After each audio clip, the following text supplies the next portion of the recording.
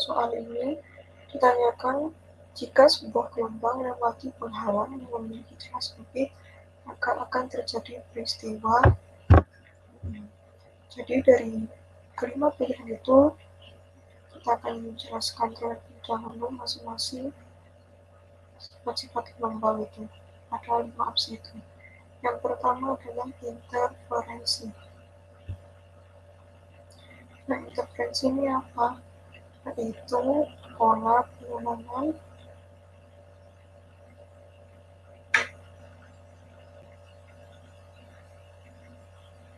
atau penghilangan.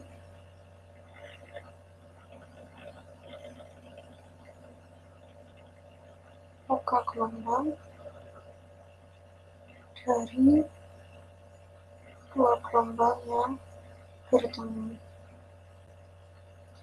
Jadi kalau ada gelombang uh, sebuah jadi ada gelombang itu dari sumber yang berbeda. Dari sumber yang berbeda tuh yaitu dia akan bisa saling menambahkan atau bisa saling menghilangkan makanya kalau diintervensi kan ada intervensi konstruktif dan intervensi destruktif. Yang kedua pada pilihan B adalah difraksi Fraksi ini adalah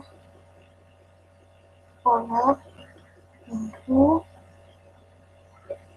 sebuah gelombang setelah melalui cepat.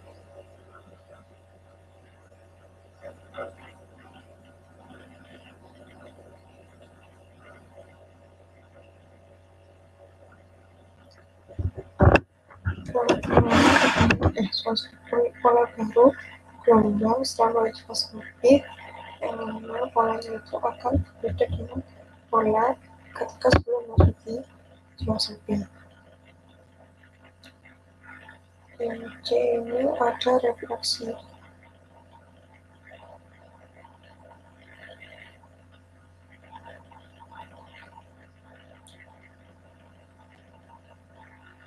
Jadi ketika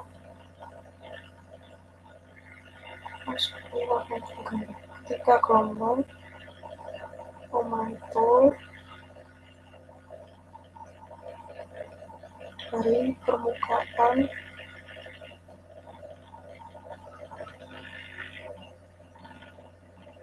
Dan akan kembali ke sumbernya.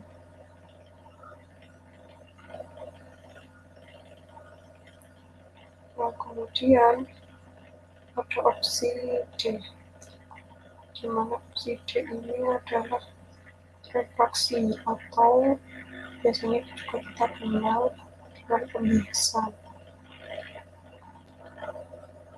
Adalah peristiwa berbeloknya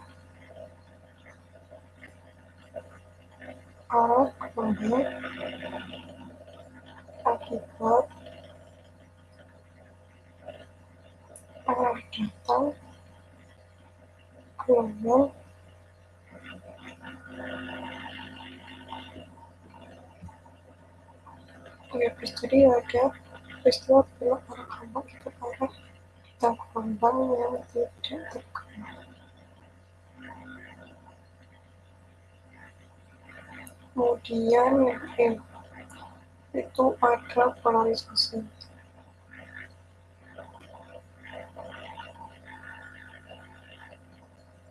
Kalau polarisasi ini adalah pesan dari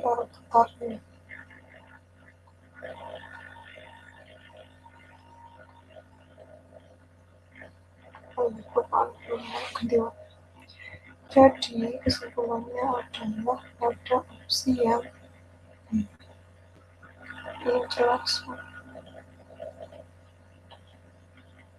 отлично понял. Я